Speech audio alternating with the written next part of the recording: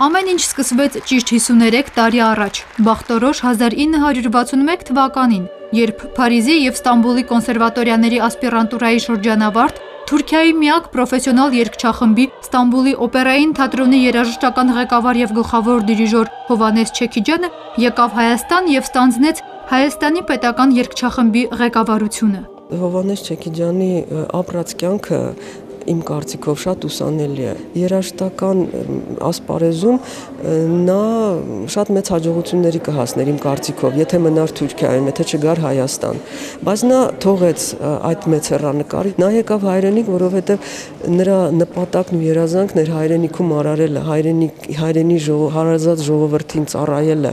2014 թվականին լրացավ Հովանես Չեքիջյանի 85-ամյակը։ Այդ կապակցությամբ տեղի ունեցան մի շարք միջոցառումներ այդ թվում գիտական նստաշրջան գիտությունների ակադեմիայում։ Նիստերը գումարվեցին սեպտեմբերի 26-ին եւ 27-ին։ Ողջույններով հանդես եկան Հայաստանի Հանրապետության մշակույթի նախարար Հասմիկ Պողոսյանը, Հայաստանի Հանրապետության Գիտությունների ազգային ակադեմիայի նախագահ ակադեմիկոս Ռադիկ Մարտիրոսյանը, Հայաստանի Հանրապետության կրթության եւ գիտության կոմիտեի նախագահ Սամվել Հարությունյանը, Հայաստանի Հանրապետության կոմպոզիտորների միության նախագահ Արամ Սաթյանը եւ այլք։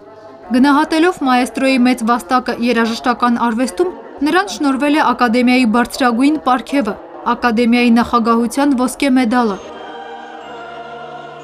Անցյալ տարի, երբ նշվում էր ակադեմիայի 70-ամյակը, հոբելյանական հանդիսավոր համերգի ժամանակ հենց կապելան հնչեցրեց գիտությունների ազգային ակադեմիայի նոր օրհներքը, որի հեղինակները կոմպոզիտոր Արամ Սաթյանը եւ բանաստեղծ Կարո Վարդանյանն էին։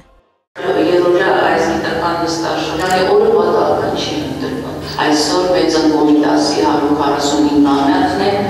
Քիչ առաջ մենք այցելեցինք, խոնարհեցինք Գիշրինի արչիվ եւ կարծում եմ, որ հենց այդ խորհուրդն է կարևոր այսօր կանոնման մեջ, որովհետեւ հենց հատկապես իր շնորհիվ Չեքիջյանի իր բարձր կատարողական արվեստի կոպիտասը ստեղծագործությունները տարածվեցին ամբողջ աշխարհում մեկ Չեքիջյանի ղեկավարությամբ կապելան շուրջ կես դար տարածել եւ քարոզել է կոմիտասի ստեղծագործությունները, հնչեցրել աշխարհիկ խմբերքեր։ Հենց կապելան է առաջին անգամ ձայնագրել կոմիտասի հոգևոր երաժշտության գլուխգործոցը՝ պատարակը։ Հովանես Չեքիջյանին նվիրված մի շարք աշխատությունների հեղինակ Աննա Ասատրյանը հիշեցրեց, որ խորհրդային միության մարշալ Հովանես Բաղրամյանը Հովանես Չեքիջյանին էր անվանում հայկական խմբերքային արվեստի մարշալ։ Աննախադեպ է, երբ մի կոլեկտիվ եւ մի ղեկավար իրար հետ համագործակցում են 53 տարի եւ ոչ թե հոգնում էր իրարից ու զզվում, այլ այդ ընթացքում 50 50 հոկանոց կապելան արդեն դարել է 100 հոկանոց Հայաստանի ձայն։ Հուզված եմ, ճիշտ ասած, որովհետեւ ակադեմիայի ղեկավարության ուշադրության արժանանալը մեծ բան է եւ հուզված եմ մանավանդ նրա համար, որ մարդիկ պետք է արտահայտվեն իմ մասին ինչ պիտի ասեն, ով, ով ոնց կուզենա պիտի խոսի, պատասխան խոսք պետք է ասեն, մի խոսքով հուզիչ է։ Բայց լավ հուզմունք է։ Գիտաշրջանը շուրջ 20 զեկույցներով անդրադարձավ Չեքիջյանի կյանքին ու գործունեությանը։ Զեկույցները կհրատարակվեն առանձին գրքով։ Անահիտ Մարկարյան, Վրամ Խանամիրյան, Ձայնագիր։